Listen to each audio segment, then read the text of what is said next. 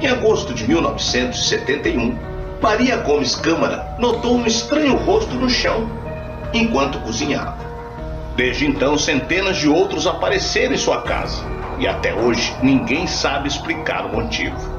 Até ali Maria não sabia, mas acabara de abrir as portas para um dos fenômenos midiáticos mais famosos das últimas décadas. Eu sou o Sidney Góes e você está no Placebo. Vem comigo, que no caminho eu te explico.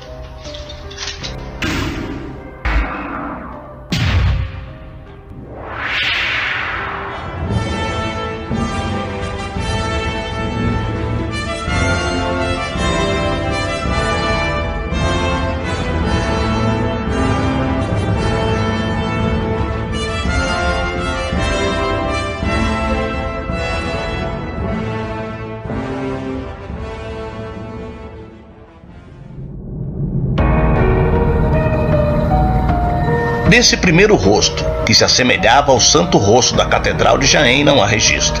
Afinal, cansado da avalanche de vizinhos que queriam visitá-lo, Miguel Pereira, um dos filhos de Maria, decidiu raspá-lo e cobri-lo com um pouco de cimento.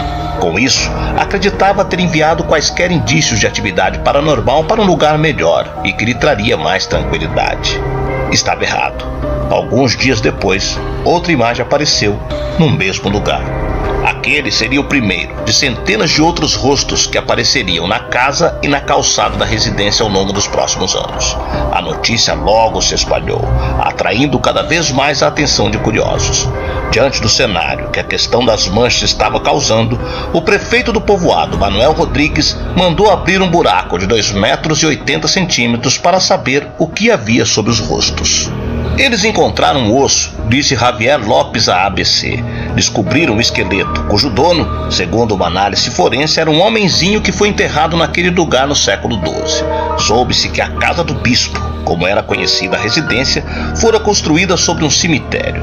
Por isso, segundo dizem, vozes também foram relatadas no local. De acordo com os moradores, a casa também foi palco de episódios bastante inusitados ao longo da história.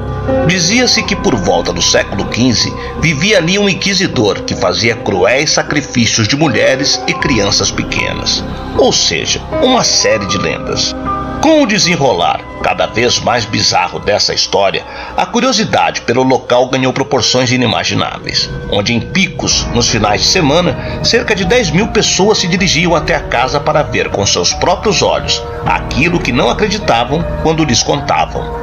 Com o interesse despertado pelo fenômeno, surgiram também as suspeitas de que os rostos de Belmes fossem uma fraude. Em uma carta ao editor, um leitor criticou em março de 1972 a série de folhetins ficcionais que estavam sendo publicados sobre a aparência daquelas faces duras como o mesmo cimento em que estão embutidos. Muitos diziam que as imagens foram pintadas por membros da família Pereira ou até mesmo por algum pintor viciado em cloreto de nitrato de prata, sensível à radiação ultravioleta. O então ministro do Interior Camilo Alonso Vega enviou o parapsicólogo José Luiz Jordan com uma equipe para investigar o assunto. Voltamos convencidos de que tudo era uma pequena fraude, embora não acredite que o dono da casa, a Maria Gomes Câmara, seja responsável. Para nós, não havia evidências de que era um fenômeno paranormal. As faces foram feitas, uma com silicato de cálcio diluído e outra com uma mistura de fuligem e vinagre. É o que afirma o relatório que deve estar em poder do atual Ministério do Interior, explicou à época em entrevista coletiva. O relatório, no entanto, rendeu a Jordan inúmeras críticas de outros parapsicólogos que estavam convencidos das autenticidades dos rostos. O fenômeno é autêntico e, como tal, sua causa paranormal, ou seja, sem qualquer explicação dentro da física natural, defendeu o parapsicólogo Gerban de Argumossa.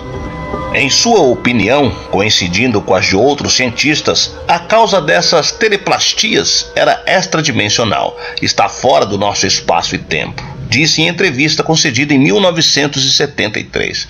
Por instrução de Argomoça, a cozinha da casa foi lacrada, embora, segundo ele, a intenção não fosse verificar o fenômeno, que já não oferece a menor dúvida aos cientistas, mas sim tentar descobrir por esse procedimento qual é a função do elemento humano. Assim, outra cozinha foi construída para Maria. Porém, novos rostos começaram a surgir nela também. O mais surpreendente de tudo é que quando a cozinha selada foi aberta, um ano depois, outros 17 novos rostos haviam aparecido por lá. Para os vizinhos, Maria Gomes foi quem causou essas imagens, que foram se transformando com o tempo.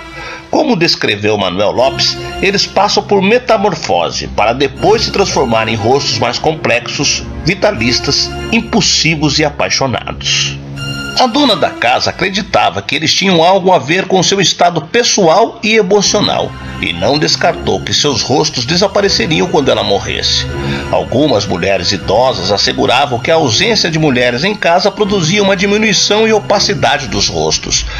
Maria Gomes Câmara faleceu em fevereiro de 2004, porém, ao contrário do que acreditava, os rostos não morreram com ela. Muito pelo contrário, as faces na casa só não desapareceram, como se multiplicaram e até mesmo passaram a aparecer em uma outra casa, justamente onde Maria nasceu, localizada a poucos metros dali.